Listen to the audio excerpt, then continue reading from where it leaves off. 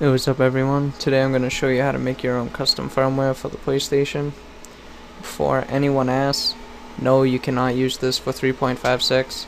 This is only for 3.55 and the only possible way to downgrade from 3.56 is if you brick your PlayStation.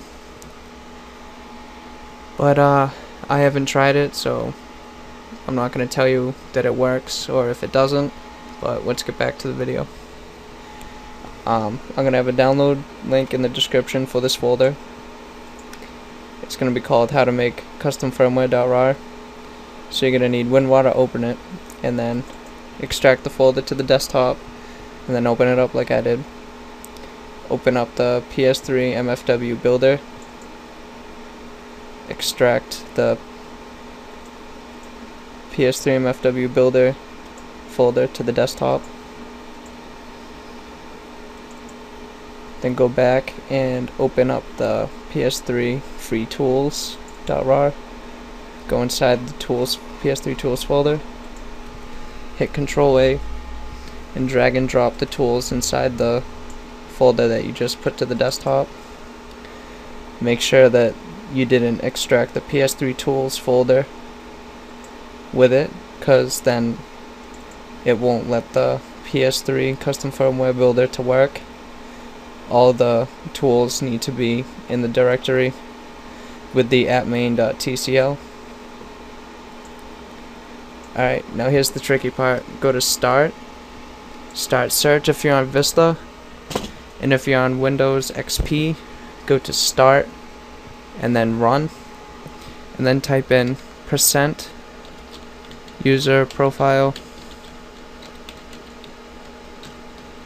percent hit enter and it'll bring you to your names directory then go to the rar and drag and drop the .ps3 file to that directory. I already have it there so I will I will overwrite it. Whoops.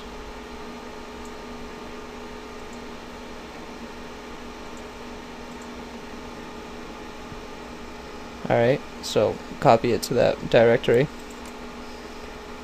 Make sure you didn't mess up like I did. Alright. Then, when you're done with that, install the active TCL 8.5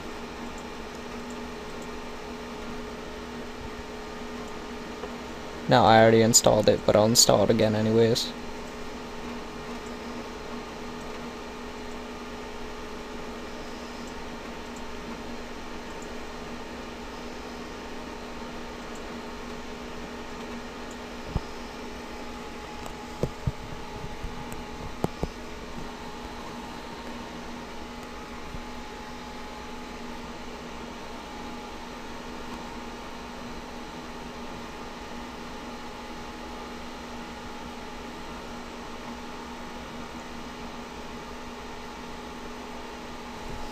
Alright, now that it's finished,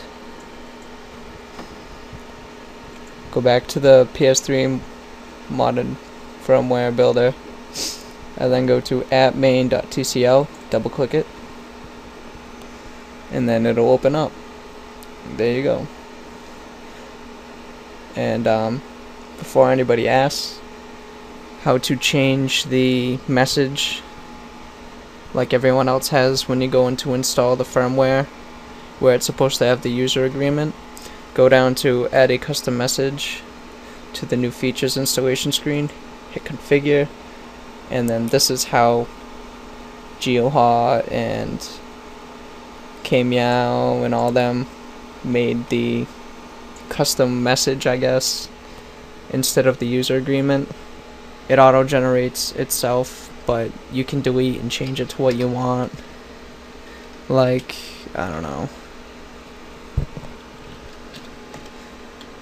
My cool firmware. I don't know, whatever your heart desires.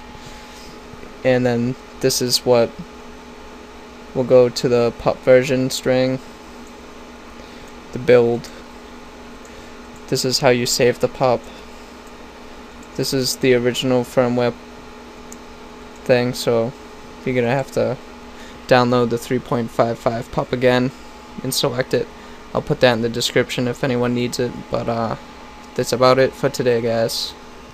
If you have any questions, leave me a message or leave a comment below.